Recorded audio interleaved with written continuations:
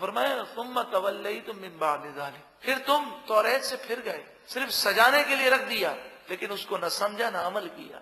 अगर अल्लाह ताला चाहता, तुम्हें हलाक कर देता और तुम जहन्नम में चले जाते, लेकिन अल्लाह ने फजल किया और अपने महबूब करीम सल्लल्लाहु अलैहि वसल्लम को दुनिया में मबूस कर दिया। अब तुम ज़िंदा हो, तुम इस नबी पर ईमान लाओ और जहन्नम में जाने से बच जाओ। फलौला फजलुल्लाह और अगर अल्लाह का फजल तुम पर न होता रहमत और अल्लाह की रहमत न होती लकुन तुम मिनल खासिरीन, ज़रूर तुम नुकसान उठाने वाले हो जाते। लेकिन अब भी इस ढील से फ़ायदा उठाओ। ये ढील अल्लाह का फजल है। फ़ायदा उठाओ और ईमान ले आओ, और मरने से पहले पहले तौबा कर लो। अब सरकशी का ज़िक्र है और अल्लाह के अजाब का ज़िक्र है। बनी इसराइल पर यह लाजिम था कि वो हफ़्ते के दिन दुनिया भी कोई काम ना करें। जैसे हमारे यहाँ जुम्मा मुकदस दिन है, उनके यहाँ हफ़्ते का दिन मुकदस था। मगर हमारे यहाँ ये है कि जुम्मे की अजान से पहले भी कारोबार कर सकते हैं। अजान होते ही कारोबार बंद कर दें, कोई दुनियावी काम ना करें। और जब जुम्मे की नमाज़ पढ़कर फारिग हो जाए तो इसके बाद कारोबार कर सकते हैं। लेकिन उनके लिए पूरे हफ़्ते के दिन और रात में कोई दुनियावी काम जायज़ नहीं था। तो उनकी एक कौम थी, बनी इसराइल में से एक तबका वो था, जो दरिया और समंदर के किनारे रहता था। उनकी गुजर औकात मछलियों पर थी। अल्लाह ताला ने उनकी आजमाइश फरमाई। पूरे हफ़्ते मछलियाँ बहुत कम आती और हफ़्ते के दिन इतनी मछलियाँ आती कि समझाने के लिए अर्ज़ करता हूँ बाल मुफसरीन ने फरमाया कि आप यूँ समझें कि इतनी मछलियाँ आती कि पानी नज़र नहीं आता। अब वो कहते कभी हफ़्ते के दिन तो मछली का शिकार हराम है, कोई काम हम नहीं कर सकते। तो वो सब्र करते और बाकी दिनों में बड़ी मुश्किल होती गुजर औकात भी मुश्किल हो जाती तो कुछ अरसे तक वो सब्र करते रहे। फिर उन्होंने सोचा कि ये तो बड़ा मुश्किल काम है। तो उन्होंने एक नाजायज तदबीर की। वो तदबीर ये की कि उस दरिया के करीब, उस समंदर के करीब उन्होंने नहरें खोदी। और नहरें खोद कर अपने इलाकों में बड़े बड़े तालाब बनाए। अब क्या करते, हफ़्ते का दिन आता तो नहर का मुँह खोल देते जैसे नहर का मुँह खोलते तो पानी समंदर से और दरिया से गुजर कर तालाब में जमा हो जाता। वो पानी से वो तालाब भर जाते बड़े बड़े तालाब थे, और वो मछलियों से भर जाते। अब मछलियाँ दोबारा वापस ना जा सके, इसलिए नहर का मुँह बंद कर देते। फिर इतवार के दिन उन मछलियों को पकड़ लेते। जब हज़रत दाऊद अल्लाह नबीना वाले सलाम ने इनसे फरमाया तुम ये मछलियों का शिकार कर रहे हो, ये तो हराम है। ये लोग कहने लगे कि हम इतवार के दिन मछलियों का शिकार करते हैं। हफ़्ते के दिन तो हम सिर्फ़ दो काम करते हैं, नहर का मुँह खोलते हैं और थोड़ी देर के बाद नहर का मुँह बंद कर देते हैं। तो आपने फरमाया, यही तो मछलियों का शिकार है। जब मछलियों को तुमने तालाब में कैद कर लिया तो शिकार तो हो गया तो कहने लगे, नहीं, ऐसी बात नहीं है। हम तो ये काम सत्तर साल से कर रहे हैं। सत्तर साल हो गए थे। अगर अल्लाह नाराज़ होता तो अजाब आ जाता। सत्तर साल से ही हमारा मामूल है। तो उस कौम में बाज वो लोग थे जिन्होंने ये गुना नहीं किया। उन्होंने बस्ती के अंदर दीवार खींच दी और कहा कि हम अपने घर, अपने सारे सामान अलग करते हैं, तुमसे हम बातचीत नहीं करेंगे कि कहीं तुम्हारी वजह से हम पर अजाब ना आ जाए। तो वो अलग रहने लगे और जो गुनागार लोग थे वो बस्ती के दूसरी तरफ़ बीच में दीवार थी। एक दिन सुबह ये नेक लोग उठे तो कहा, क्या बात है? कोई आवाज़ नहीं है। चूल्हा अगर जलेगा तो धुआँ उड़ेगा, कोई धुआँ उड़ता हुआ नज़र नहीं आता। दीवार पर चढ़ कर देखा तो पूरी बस्ती में बंदर ही बंदर थे। जब अंदर गए तो ये बंदर उनके करीब आते ये बंदर तो बन गए थे, लेकिन पहचानने की उनमें सलाहियत थी। ये अपने रिश्तेदारों को पहचानते, उनको लिपट लिपट कर ये रोते और रिश्तेदार उनसे कहते, हम ना कहते थे, गुनाह मत करो। तुम नहीं मानते थे। तो वो सर के इशारे से वो ये इजहार करते कि हम समझ रहे हैं, वाकई हमने बहुत बड़ी गलती की है। हदीस पाक में आता है कि तीन दिन के बाद ये सब हलाक हो गए। हदीस पाक में ये भी है कि नबी करीम सल्लल्लाहु अलैहि वसल्लम ने फरमाया, मुस्लिम शरीफ की रिवायत है कि जिस कौम पर अल्लाह ताला अजाब नाजिल करे, वो बंदर या खिंजीर या कोई और जानवर की शक्ल इख्तियार कर ले तो तीन दिन से ज़्यादा वो कौम ज़िंदा नहीं रहती। तो ये जो अवाम में मशहूर है कि ये बंदर वही है, ये बात नहीं है। बंदर तो एक जानवर पहले से है। जिस कौम को बंदर बनाया गया, वो कौम हदीस पाक के मुताबिक, मुस्लिम शरीफ की रिवायत के मुताबिक वो कौम तीन दिन के अंदर हलाक हो गई।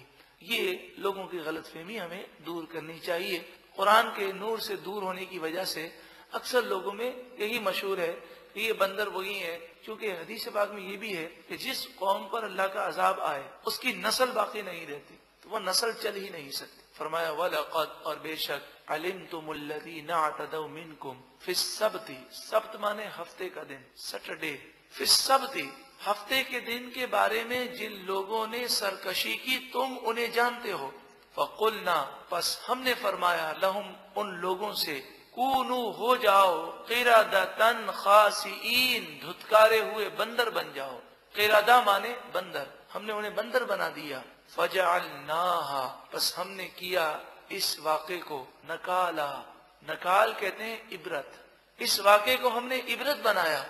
लिमा बैन यदईहा उन लोगों के लिए जो अगले हैं, वमा खल्फा, और जो पिछले हैं, यानी ये वाकया अगलो पिछलों के लिए इबरत है। उस वाक़े के बाद से लेकर आज तक और आज से लेकर कयामत तक आने वाली नस्लों के लिए वाकया इबरत है। अब देखें, ये जो बंदर बना दिए गए, ये कोई मुशरक या काफिर या यहूदी, ईसाई नहीं थे। ये बनी इसराइल थे। और बनी इसराइल तौरेत को मानने वाले थे। ये यहूदियत तो बात की पैदावार है। तोरेत में भी इस्लाम है, इंजील में भी इस्लाम है, जबूर में भी इस्लाम है, कुरान में भी इस्लाम है। हर नबी ने इस्लाम ही की तबलीग फरमाई तो ये मुसलमान थे, लेकिन जब इन्होंने गुनाह किया तो इन पर अजाब आया। आप मुझे बताइए, हम खुद गौर करें, जब वो एक गुनाह करें तो अजाब आ जाता है। हम दिन रात सैकड़ों गुनाह करते हैं।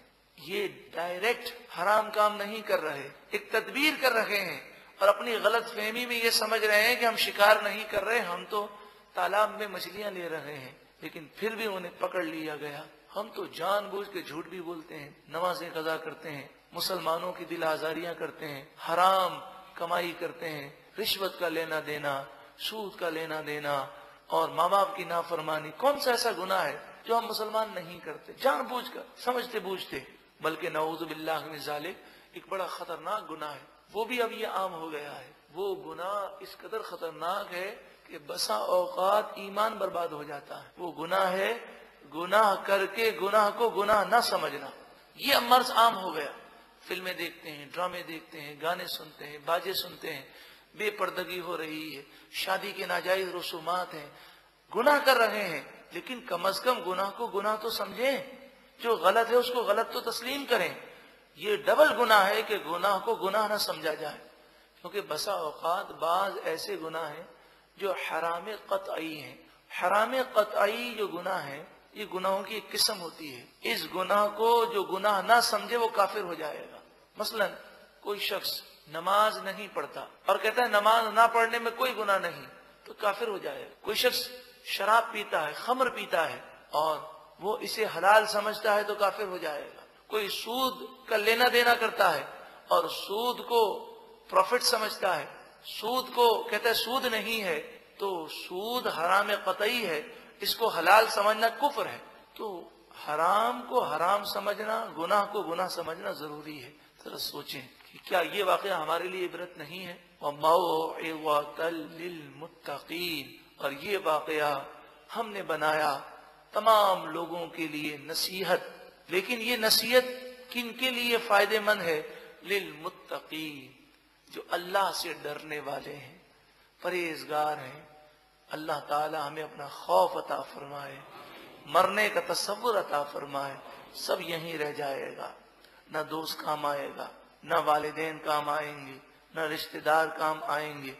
जिन दोस्तों की वजह से, जिन रिश्तेदारों की खातिर गुनाह किए हैं अल्लाह के गजब से वो नहीं बचा सकते। हमें अल्लाह को राज़ी करने की कोशिश करनी चाहिए। खुद भी नूर कुरान से मुनवर हों, दूसरों को इसकी दावत दें। जब हम किसी को कुरान की दावत देते हैं इल्म दीन की दावत देते हैं तो एक जुमले पर, अल्हम्दुलिल्लाह, हदीस पाक के मुताबिक एक साल की इबादत का सवाब दिया जाता है। तो हमें तो ये दावत खूब खूब देनी चाहिए, मैसेज के ज़रिए। फ़ोन के ज़रिए, मोबाइल फ़ोन के ज़रिए घर घर जाकर, हो सके तो पंफलेट हासिल करके घर घर पहुंचाएँ, अपने रिश्तेदारों को पहुंचाएँ, जिन्हें आप पहुँचा नहीं सकते, उन्हें टीसीएस कर दें। यानी आपका जज्बा हो कि कोई शख्स नहीं भी आ सकता, कम अज कम मेरा पैगाम पहुँच जाए, कुरान का पैगाम पहुँच जाए, कभी भी उसे मौका मिलेगा, वो आ जाएगा। अल्लाह ताला कुरान की दावत आम करने की हम सबको तोफ़ी अता फरमाए और कुरान की दावत की बरकतों से हमें दुनिया और आखिरत में माला माल फरमाए और हमने नाम तो रख दिया, खुशगवार ज़िंदगी। अल्लाह ताला हम सब की जिंदगियाँ और तमाम मुसलमानों की जिंदगियाँ खुशगवार फरमा दे और दोनों जहाँ की सलामती और कामयाबी अता फरमाए। वह इन और याद करो जब कौल मूसा मूसा सलाम ने फरमाया कौमी ही अपनी कौम से इन अल्लाहमुरकुम अनतबाहु बकरा बेशक अल्लाह ताला तुम्हें हुक्म फरमाता है कि तुम एक गाय जिबह करो। मूसा सलाम की कौम में एक कत्ल हुआ और कौम ने यह सवाल किया कि इसका कातिल कौन है? हज़रत मूसा सलाम ने फरमाया, गाय जिबा करो, तुम्हें कातिल का इल्म हो जाएगा। कालू, वो बोले अतत्खिदुना हुजुबा क्या आप हमसे मज़ाक करते हैं? कौल अन अकून मिनल जाहिलीन। आपने फरमाया, मैं नादान बनने से अल्लाह की पनाह माँगता हूँ कि मज़ाक करना ठट्टा करना, ये नादानों का काम है। अम्बिया वसलाम इससे महफूज हैं। अब इन्हें हुक्म था कि कोई भी गाय जिबा करें, इन्हें कातिल का इल्म हो जाएगा। मगर उन्होंने सवालत किए कौलुदना का वो बोले, आप अपने रब से हमारे लिए दुआ कीजिए। युबैलना माही। वो हमें बताए कि वो गाय कैसी है। कौला यकूल आपने फरमाया, बेशक अल्लाह ताला फरमाता है बकरतुल्ला फारिदू वला बिक्र। वो गाय ऐसी है जो ना बूढ़ी है और ना बच्ची है।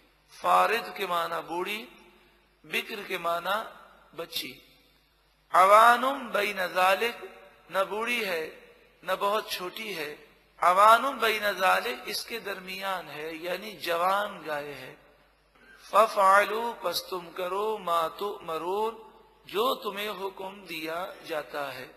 अब इनके लिए काफ़ी था कि वो एक जवान गाय को जिबा कर देते। खौलुदना का वो बोले, आप अपने रब से हमारे लिए दुआ कीजिए। युबैलना मा लवनुहा वो हमें बताए कि उस गाय का रंग कैसा है। लवनुहा उसका रंग। कौन इन यकूल इन आपने फरमाया, बेशक अल्लाह ताला फरमाता है सफ वो पीली गाय है। फाकुहा उसका रंग गहरा पीला है।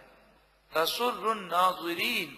और ये पीला कलर, ये पीला रंग देखने वालों को बुरा नहीं लगता, बल्कि देखने वालों को ये खुश कर देता है। जब उन्होंने ये सुना कि जवान गाय है, फिर जब ये सुना कि पीली गाय जिबा करनी है तो ये परेशान हो गए कि हमने पीली गाय तो कभी देखी नहीं, और वो भी डार्क येलो कलर की गाय। बहुत गहरा पीला कलर हो और फिर ऐसी गाय निगाह को भी अच्छी लगती हो। कौलुदना गब्बा का वो बोले, आप अपने रब से दुआ कीजिए। युबैलना माही, वो हमें वाजे तौर पर बताए कि वो गाय कैसी है। इन्नल बकर तशाबा अलैना, बेशक गाय हम पर मुश्तबे हो गई। गायों में हमें अब शुबा पड़ गया। ऐसी गाय की तफसील मजीद बताएँ, ये गाय हम कहाँ से हासिल करें? वह इन्ना इनशा अल्लाहतदून और अगर अल्लाह ने चाहा इनशा बेशक ज़रूर हम उस गाय को पालेंगे